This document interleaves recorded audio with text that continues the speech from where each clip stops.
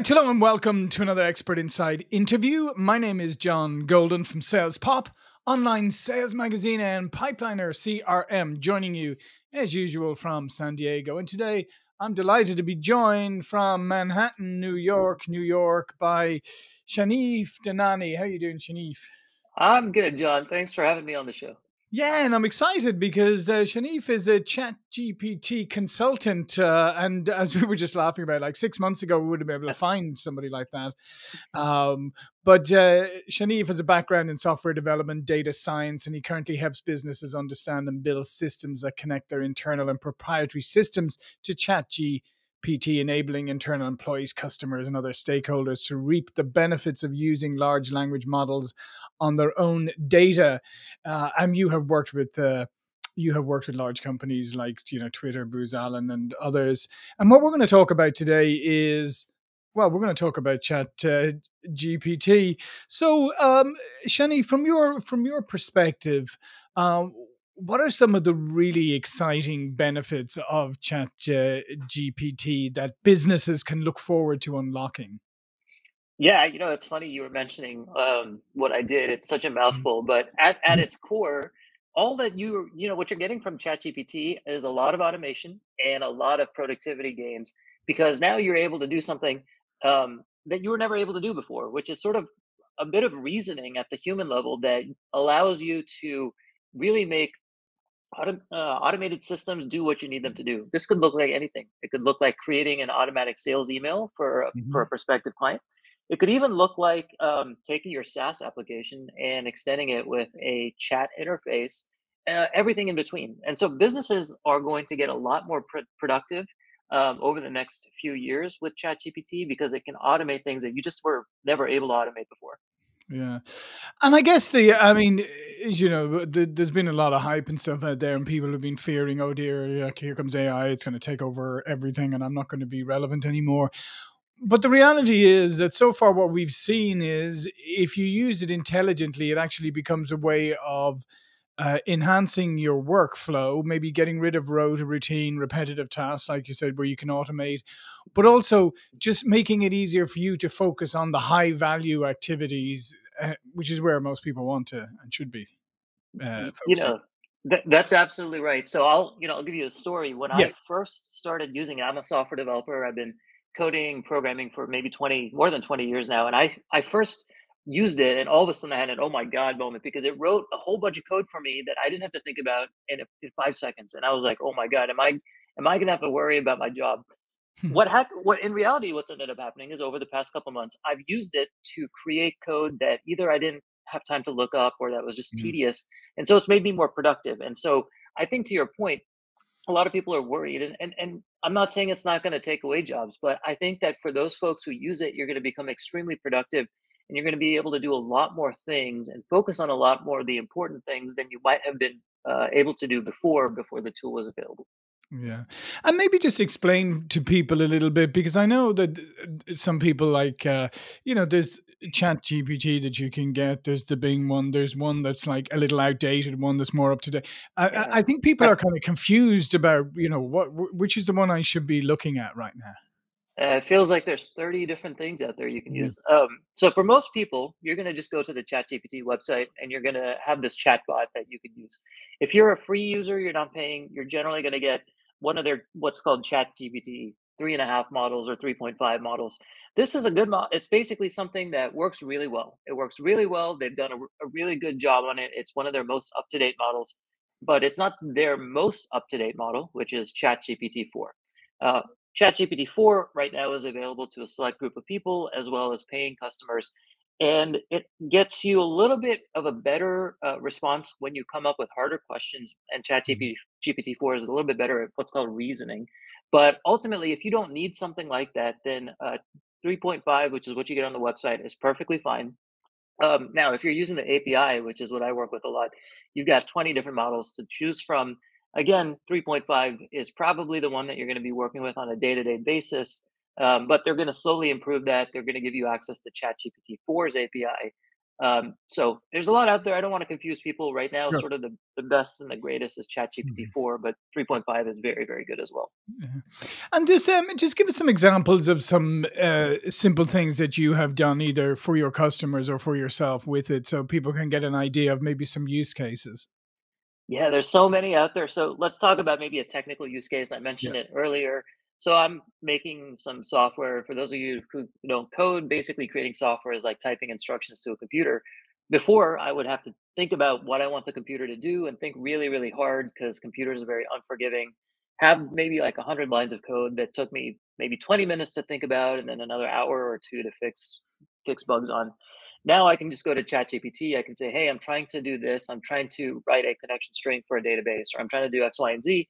Can you please give me the code?" And it'll do it right away. And suddenly, all of a sudden, you know, I'm able to get a lot of the boilerplate stuff that I might have had to do Mhm. before, a lot of the tedious work out of the way. So that's one example from the tech world.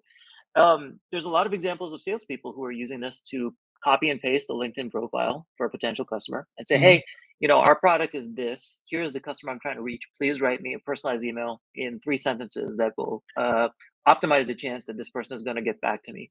Um, so there's an example from the sales field. You've got everything, you know, in between. I've done, I've used it to uh, to do some research as well, and I've used it to basically um, take things that I've used it to like take a website that never had a chat interface before and uh, add a chat interface on top of it. And now instead of having to click into web pages and going into screens, you can just ask ChatGPT, "Hey, you know, how many leads do I have today?" Mhm. Uh, if you're looking at Salesforce, and so you know the, the use cases are so broad. Sure. Uh, it's one of those things where I, I could go on and on and on. Yeah. Most people are interested in what it can do for them though in their day job. Yeah, no, absolutely. No, th- those were those were excellent examples. And I think the other thing that people are going to start getting used to is it's a very different way of interacting. Like we're used to search, right? We're used to regular search, and we're used to putting in our couple of words or trying to get you're trying to put it in a format, you know, that the that the search will react best to. It's very different, isn't it, with with uh, with. Chat G, uh, GPT? Now you're kind of almost getting into a conversation with it. yeah. It's so true. You know, when I search for something, maybe I'll type four or five of the Mhm. keywords that I know will result in the best uh, responses and search results. With ChatGPT, uh, you end up writing maybe a paragraph or two. If it's a really complicated thing that you wanted to do, you end up writing a paragraph or two. But then you save a ton of time because you no longer have to browse through five or six results. You no longer have to sort of go through a website. It gets you the exact answer you need, but you have to pro- you have to provide it with the data and enough of a context so that it doesn't make up an answer and so that it can Mhm. provide you with what you need. So you spend a little bit more time typing up front um, and maybe that's a little bit sort of tedious, but then you get a really good answer on the back end, and so it sort of makes up for it. Yeah. So, um, so where do you see this going right now? As you as you mentioned, I mean, there's a there's a, a more advanced version, the the four point whatever version, but but where do you see this going even beyond that? I mean, where do you think if we picked Uh, up our conversation this time next year, what do you think we'd be talking about? Gosh, man, things are moving quickly. So one of the things people are really excited about is that ChatGPT 4, uh, with a couple of add-ons, will actually be able to work with video and images. So maybe you Mm, type in a quick a- answer or a quick response, and all of a sudden it comes up with a bunch of images that you can use on your homepage. And so there's this multimedia component that's coming out where you as a human being can just describe what you need and suddenly come up with a whole slew of resources, media, things that you might not have ever had to do before. It's great for creators it's great for people who are musicians, artists, whatever it is. Um, so there's the creative side of things, and then there's what I've been working on right now, which is the business side of things, where you're now going to be able to come, you know, attach ChatGPT to any of the tools that you use on a day-to-day basis, as well as any of the documents that you create or any of the um, libraries that you're looking through, and and all of a sudden now you're going to be able to ask it a question, and it's going to go off and do maybe five or six tasks that a virtual assistant mm, when I say virtual assistant, I'm talking about a human being maybe overseas could have done, you know, and, and instead of taking three or four hours, it's going to do something immediately and it's going to come back to you with a good result.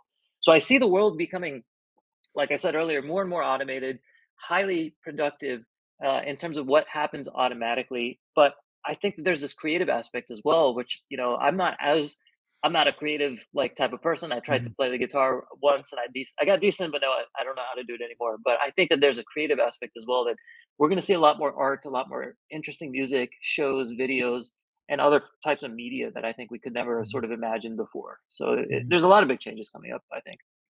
And then how how does uh, I mean, just give me your opinion on this, right? Because um, one of the things I think people fear, you know, and I share this in many ways, is that we'll no longer be able to tell what's real from what's uh, what's fake.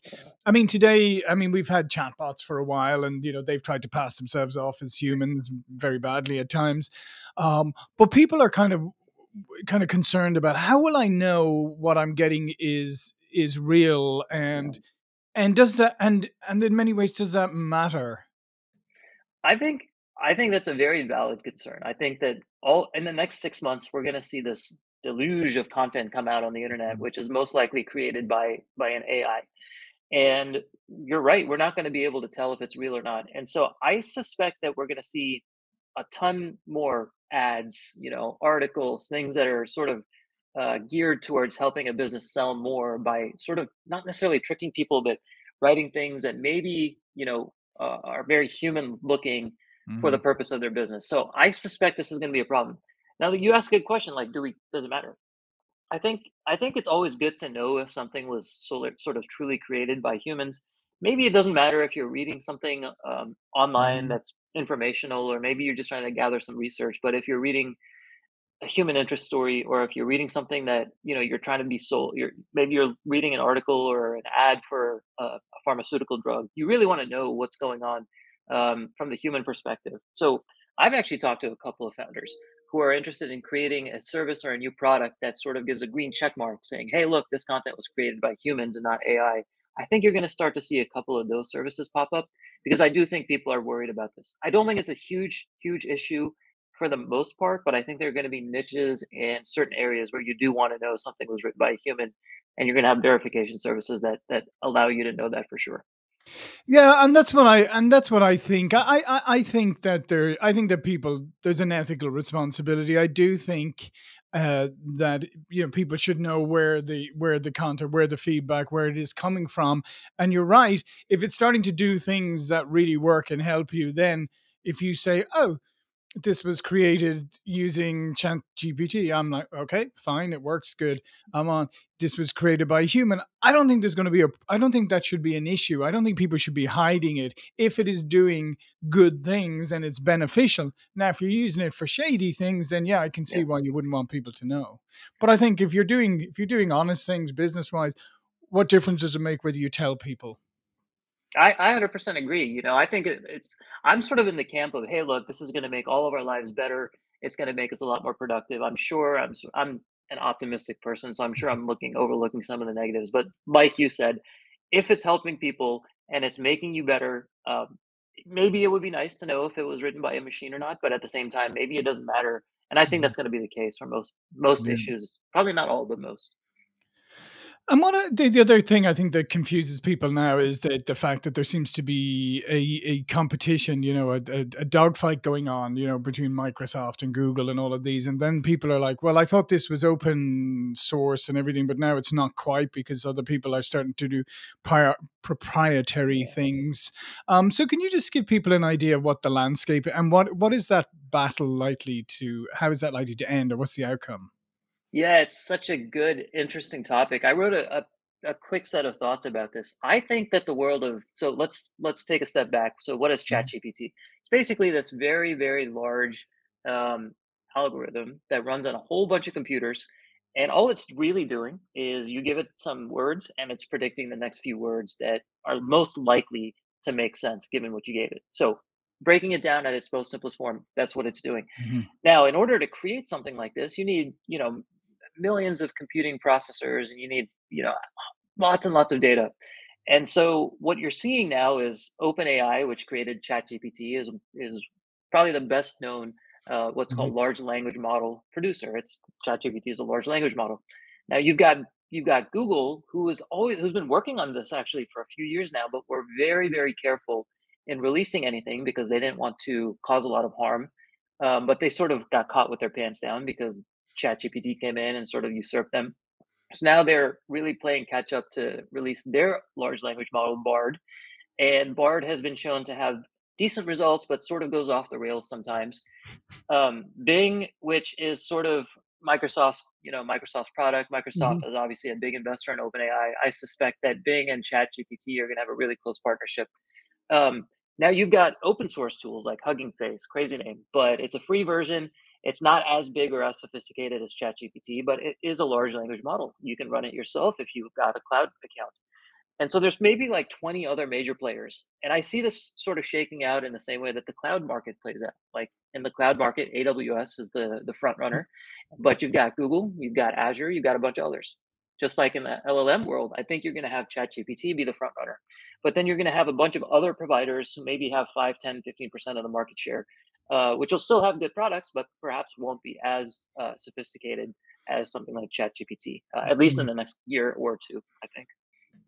Or you could just put in a, uh, you could just put into Chat GPT, say, create a, a Chat GPT that's better than you are. yeah. Hey, you know, if it gets that smart, we might all be in trouble. But if it ever does that, maybe it'll be good too. Absolutely yeah. Yeah. So uh, so in your in your dealing because you deal with companies large and small like how are companies reacting to this? Because i'm sure it's sending yeah. off i'm i mean i guess the poor it departments let's face it they were once they were once these all powerful people who had control over everything and then cloud came in and then personal tool bring your own device to all of this and they've lost so much control now. This must feel like you know almost like the end of the world to many it departments yeah, it's funny. I when I was working at Twitter, which was a few years ago, I used to work with our they I guess at, at Twitter they were called site reliability engineers or SREs. You know, their job now is to play catch up. They're sort of trying to make sure that what developers are creating can run securely, can run safely. It's not going to take down the infrastructure, and they're sort of making sure that everything that people are creating isn't going to cause a problem. And there's just not enough of them. They're really sophisticated, really technical, and smart people, and it's a hard job. So they're playing catch up but but you look at the CEOs and the VPs in these companies, and they're all uh, there's a combination of excitement and fear. You know, the fear mm-hmm. is, oh my god, if I don't start using ChatGPT for myself, I'm going to get caught. I'm going to be left behind, and all my competitors are going to move in front of me. And the excitement is, well, hey, look, if I do if I do start using ChatGPT, I can provide these five additional services, and I can provide these additional things that will make my customers happy. And so there's there's a ton of hype. There's a ton of excitement and fun and all sorts of craziness going on right now which is common for for, for a new mm-hmm. technology. But I, I do think this is sort of a game changer. Uh, so you've got a lot of people who are exploring right now. I'm working on a lot of POCs myself, proof of concepts, and you just got people starting to dip their toes into this into this area, trying to see what they can do with it before their before their competitor uh, gets a hold of it and does something more. Yeah, and and and when you work with a company, I mean, I presume like everything else, it's good to kind of to identify some pretty simple, straightforward use cases and then test them out and, and show how it works. And because I, I mean, I've heard of some people who are trying to go off the deep end a little bit now. You know, they're yeah. trying to go straight to advanced things, and they don't have the, you know, they're not set up to support it. They don't have the processes. So just like everything else, I think it need it needs a, it needs a. You don't have. I mean, you got to move quickly, obviously, but deliberately too. Yeah, John, you're absolutely right, man. Like, you know, the way I actually structure everything I do is I say, hey, look, like, let's just spend a couple of weeks building a proof of concept. Let's just make sure the technology can do what you want to do. Yeah. Um, and then once we say, okay, look, it looks like it can do what we want then let's sort of build an mvp a minimum viable product mm-hmm. let's let's actually go through and build something very small that maybe one or two of your teammates can use um, and then see how that works because right now this is all greenfield we don't even know if the tech's going to do what people need it to do and then if it does we don't know if it's just going to start making things up um, so start small, maybe come up with one use case and then cut that down like 50% to something that's really simple and doable and then grow from there. You know, um, that's generally what I recommend for folks to do. And it works well. It works well. You can quickly find something that does work or it's not going to work. And you don't spend a lot of time. You don't waste a lot of time if something doesn't mm-hmm. end up the way you think it will. Um, so that's what I would generally recommend. Yeah.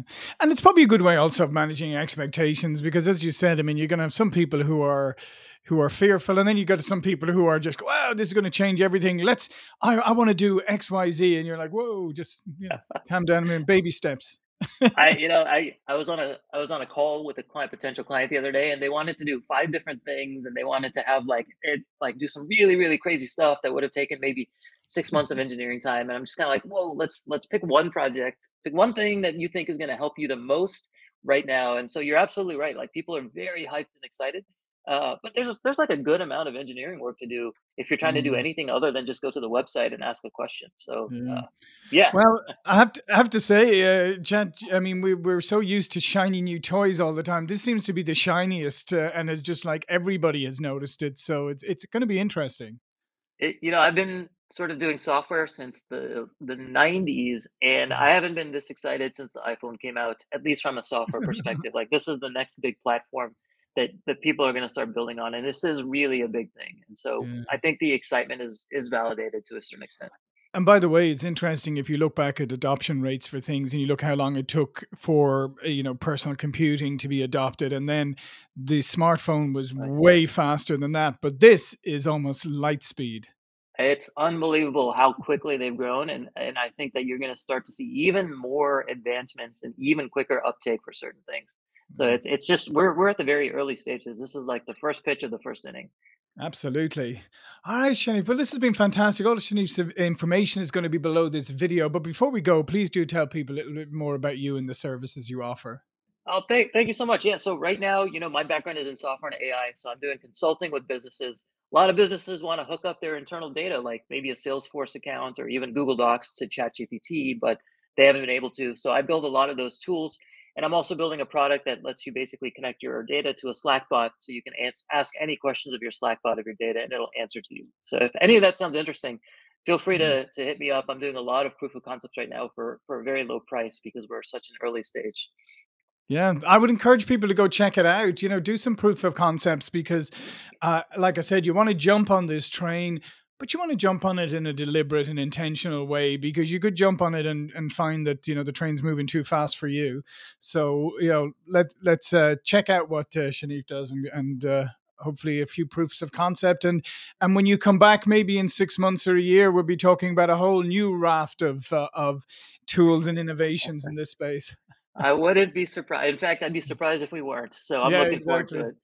All right. Well, listen, thanks again. Thank you for watching and listening, and I'll see you all again very soon. Thank you. Thanks, John.